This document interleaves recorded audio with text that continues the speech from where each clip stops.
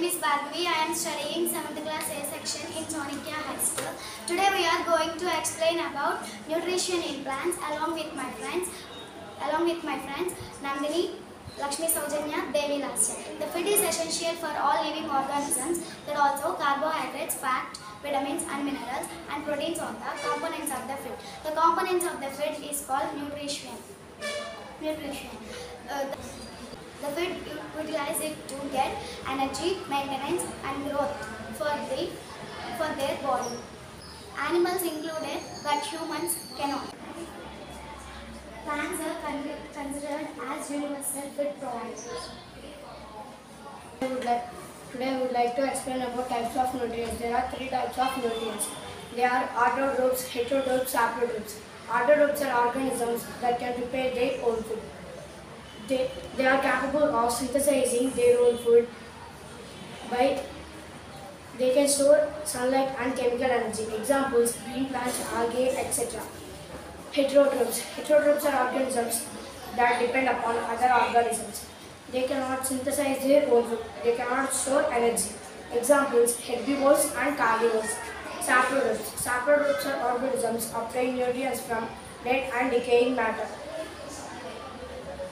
They do not create any negative impact on the ecosystem. Examples fungi. Photosynthesis the process plant prepare their own food from sunlight, water, carbon dioxide and chlorophyll is called photosynthesis.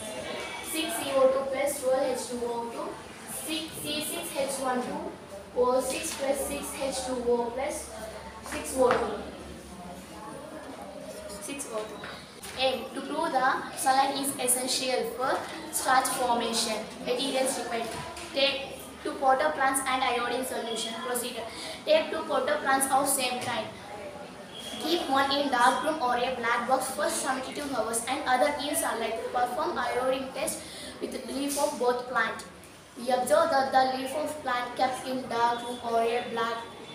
We observe that the leaf of a plant kept in dark room does not turn blue with iodine, while the leaf while the leaf of plant remained in sunlight turns blue with iodine. When we when we now when we kept in the plant in dark room, change in plant into a sunlight for 3 to 4 days and perform iodine test again on its leaf. We observe that the leaf of plant turns blue with iodine. The sun is so essential for plant to make their own food. tell about saprotrophic nutrition. Take a piece of bread and moisten it with water.